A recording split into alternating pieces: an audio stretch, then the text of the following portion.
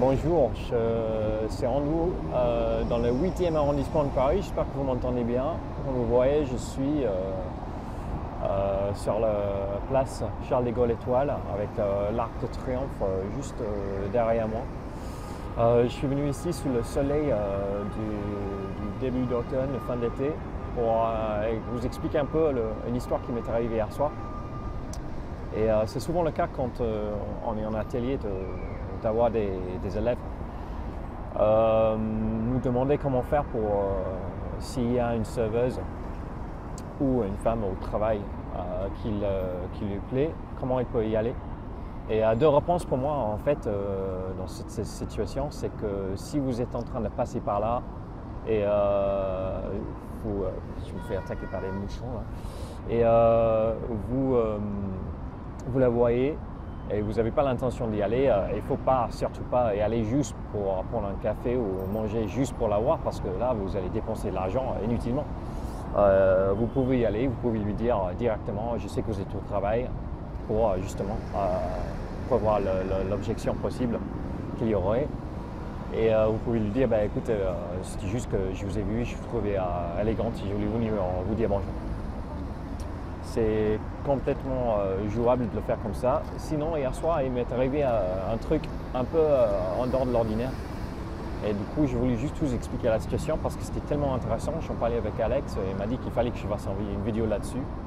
Et en fait, j'étais dans un café bistrot, resto dans la marée à côté de chez moi. Je voulais sortir pour manger. Euh, je vais passer une grosse journée et euh, je venais de finir le travail, je vais juste me détendre, bien manger tout seul. Alors j'entends le, café où j'avais été une fois par le passé pour, je sais pas, pour manger, pour prendre un café. Euh, il n'y avait pas trop de monde, donc ça m'a arrangé. Je me suis mis à une table où il y avait de la place. C'était juste à côté du bar. Et il y avait une serveuse très jolie qui tenait le bar. Et il y avait son patron, son collègue, qui était un monsieur qui finalement, euh, c'est important pour l'histoire, a été euh, homosexuel. Alors, ce qui s'est passé en fait, c'est que le, monsieur m'a accueilli à la porte, il m'a montré là où m'installer. Et en fait, je voyais dans son regard et la manière qu'il me, parlait qu'il m'a dit Ah oui, je, vous ai sur nous dans le quartier, il me posait pas mal de questions et je crois qu'il y avait un petit intérêt de sa part. Et voilà, on, est dans la marée, donc je suis très, très sociable, je suis, je suis souvent là parce qu'en fait, je m'achète dans le café, euh, le resto tous les jours. Et alors, on rigolait un peu.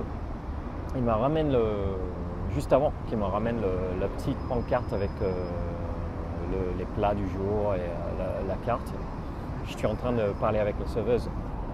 Et là, en fait, il y avait un intérêt de ma part pour elle parce qu'elle était très mimi. Je voulais, je voulais lui parler un peu. Donc, j'ai lancé un petit blague en disant bah, non, mais un petit push-pull, si vous voulez. C'était, oh non, je suis, un peu dans la merde. Si, euh, si je mets au bar ce soir, ça veut dire que je suis obligé de, passer ma commande auprès de vous. Je suis sûr que vous allez vous tromper.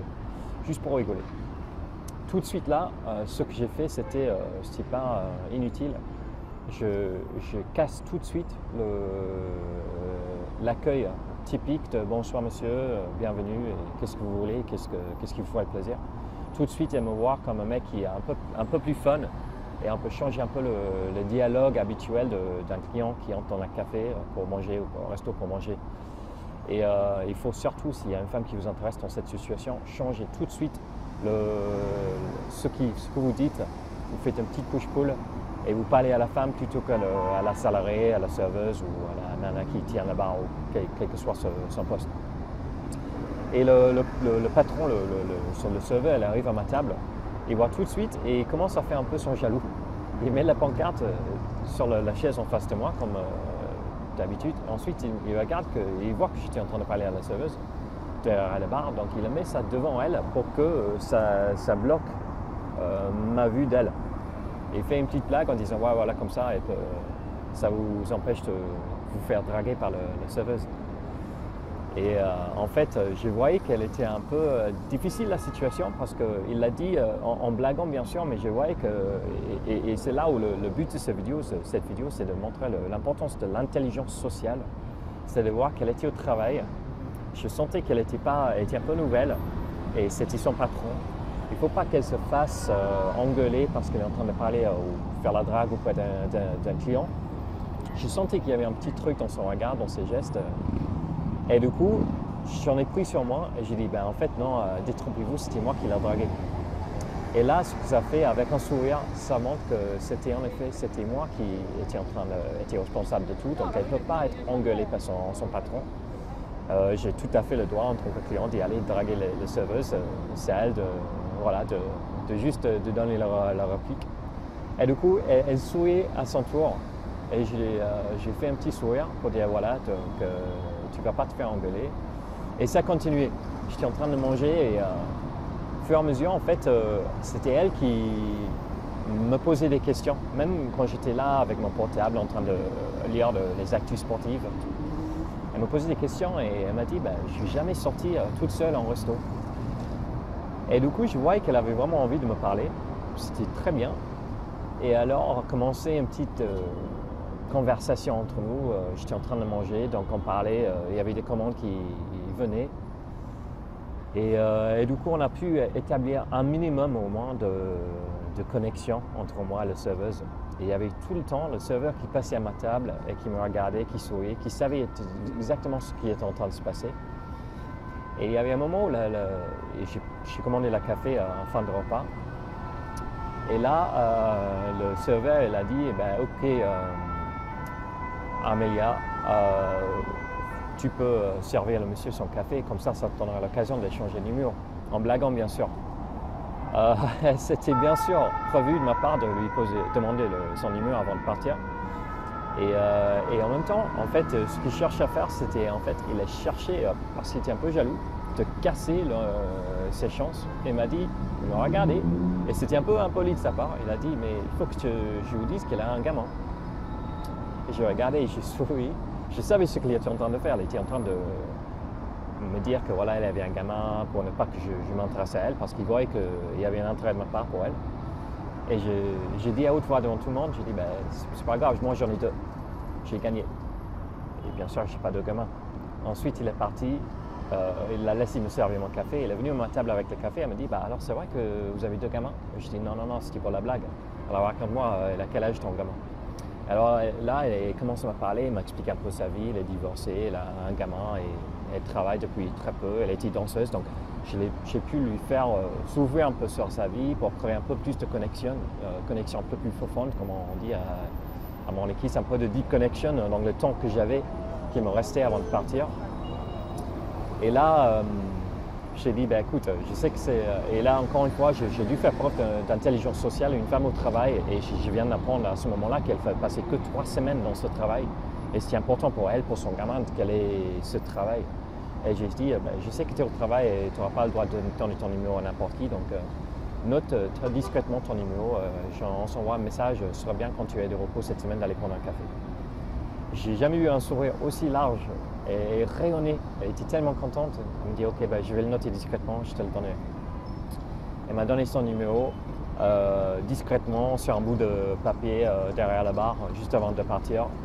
Euh, ni vu ni connu, donc le, serveur ne l'avait pas vu. je me suis relevé pour partir. J'ai fait le bise auprès de la serveuse. Et le serveur, il me tient par la main pour me serrer la main, me fait le bise et m'a dit bah, C'est dommage que vous partiez, vous étiez plus au cost, le, le restaurant ce soir. Donc il a cherché euh, une ultime fois à me faire un peu la drague. C'était, euh, flatteur pour moi, bien sûr. c'était quand même une situation très très difficile parce que je sentais qu'il y avait une pression pour la fille, pour lui, pour moi aussi, et un petit triangle d'amour qui était en train de s'établir.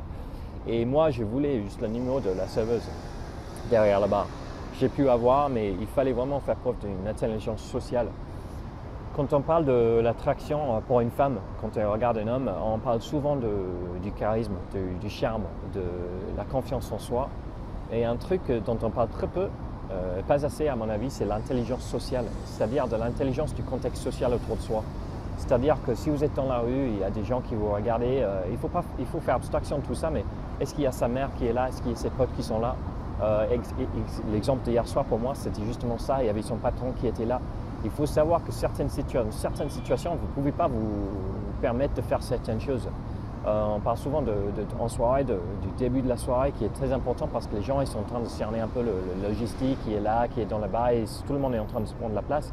Si vous êtes un mec qui vend au taquet dès le début, en train de rigoler, en train de hurler, tout le monde va vous voir parce qu'il y a peut-être très peu de monde dans les bars à ce moment-là. Et, vous allez dire, oh non, c'est le mec là qui, qui fait un peu le clown, le guignol. Euh, donc il faut vraiment faire preuve d'intelligence sociale. À quel moment êtes-vous dans la soirée? Quelle est l'ambiance autour de vous? Quelle est la situation autour de vous? Quelles sont les contraintes, les, éventuelles objections? L'intelligence sociale est très importante pour, euh, pour, nous les hommes parce que c'est à nous de décider, ok, est-ce que je peux faire ça? Est-ce que je peux me permettre de faire ça? Est-ce que ce sera aller trop loin pour la situation? Il faut toujours y penser Hier soir, je, pense avoir pu le faire. J'ai eu le numéro, euh, c'était un numéro très solide. Il y avait un courant qui super bien qui se passait entre moi et la fille euh, et euh, les serveuses. Et je suis presque sûr qu'on va se revoir. Je, vais envoyer un message aujourd'hui pour organiser ça. je vais faire une, vidéo pour vous raconter, une fois que ce sera fait, comment ça se passe. Et du coup, voilà l'intelligence sociale, euh, le but de cette vidéo. Il faut toujours avoir ça en tête, c'est très important et une femme, elle va sentir la, pression sociale quand vous êtes en train de lui faire la drague. Euh, et, du coup, il faut vraiment que vous le preniez en main. C'est l'un des éléments clés de l'attraction euh, d'un homme, enfin, ou un homme chez une femme. Voilà donc une petite vidéo d'un cadre exceptionnel du 8e arrondissement de Paris. Je vais aller fait un peu de drague dans la, rue du 8e arrondissement. Je me suis bien sapé pour. Euh, j'ai eu un client ici il y a un peu de temps et j'ai pu voir les femmes dans ce, quartier. Il y a beaucoup de femmes avocates, beaucoup de, femmes bien habillées. Donc euh, j'aimerais bien me plier aux règles du jeu et euh, je vais voir ce que ça donne. Euh, très bientôt sur Morning N'hésitez pas à liker, à donner des commentaires, à faire part de vos réflexions et euh, surtout à parcourir un peu la chaîne YouTube de Morning Kiss pour euh, d'autres astuces, d'autres conseils et d'autres vidéos de qualité qui viennent à vous tous les jours grâce à moi et à toute l'équipe. A très bientôt. Au revoir.